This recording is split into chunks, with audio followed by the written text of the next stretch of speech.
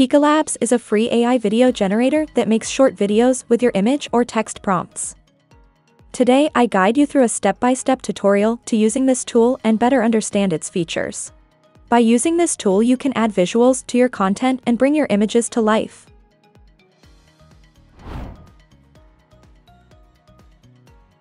First of all, open Pika.art website. Pika 1.0 will be available soon. You can sign in with Google or Discord to join the waitlist to use this update. This version will be available on both Discord and web. For creating 3-second videos and animating images, you can use the current Pika server on Discord. For this, click on Discord. Accept the invite to enter the Discord server. In the prompt tutorial channel, you can read some tips for prompting. To get help from others, go to the prompt help channel. I suggest you visit channels and get more information. There are several generation rooms, enter one of them. You can see many generations. You can create your video here. Use PikaBot if you want a private room and you want to easily track your work. To do this, click on member list icon. Right-click on PikaBot and select message. Now you have a place to chat directly with PikaBot. If you want to create a video, write slash create and write your prompt, then you can press tab button three times, or click on plus one and select image. Drag and drop your image or press the button and select your image to create a video based on it. Adding an image is optional and you can add only a text prompt. To animate an image, write slash animate then upload your image. You can write a text prompt, which is optional. For this press tab button three times, or click on plus one and select prompt. For writing your prompt, be clear and write what you want to see. Remember that you get a 3 second video, so give the AI instructions based on that. Let's go over a few points and then create some examples together. Pika supports some parameters in text prompt. When you write a prompt, it's better to use these parameters to get the best result. With this parameter, you can specify aspect ratio for the generation result. With this, you can add negative prompt. Negative prompt is something you don't want to see in your result. By using FPS, you can set the number of frames per second. You can use numbers between 8 and 24. The default value is 24. By using motion, you can determine level of motion in generated content. You can use numbers between 0 and 4. 4 is for higher movement. The default value is 1. Seed can help you create consistent generation or make different results. When you download the result, you can show seed number in result name.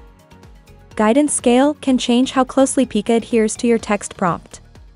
A higher score indicates greater compliance with your prompts. Recommended range is 8 to 24 and the default is 12. The camera parameter allows you to control the movement of the camera in your video. You can zoom in or out on your video. Combination is currently not supported. You can move the camera left, right, up, or down and combine movements. You can't combine left and right directions or up and down directions at the same time. You can rotate your video. CW is for clockwise rotation. CCW is for counterclockwise rotation. ACW is for anti-clockwise rotation. CCW and ACW both do the same thing. Let's create a video. Go to the message bar and type slash create, then enter your prompt and add the required parameter. You can add an image and create a video based on it. I want to create my video with just a text prompt. Press enter and wait until your video to be ready you can see the result. You can download the video from here. You can add reaction by like or dislike. By pressing the refresh icon you can generate the video again. By pressing the shuffle icon you can edit your text prompt and press submit button to recreate the video. By pressing this icon and filling in the blank, you can delete the result. Let's create a video with source image. Write slash create. Write your prompt. Upload your image and press enter. Wait for the result. You can see the result. You can edit the prompt and create it again and get results based on what you want. Let's animate an image. In the message bar type slash animate, then press tab button and upload your image. You can delete your image and add another one from here. You can add text prompt. Press enter and wait. You can see the animated result. You can download it or create it again. If you want a longer video, do these things. Open the Final Frame website.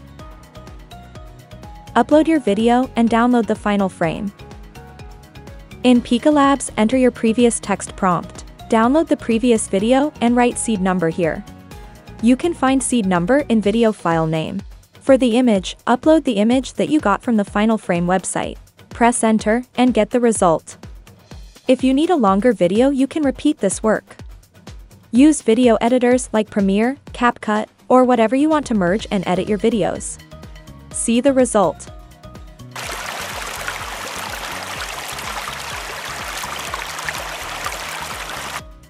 If the video was helpful, please remember to hit that like button and subscribe. Use different prompts and parameters to better understand which one is best for your work. Share your experience with Pika Labs in the comments below. Stay with us for more useful videos. Thanks for watching.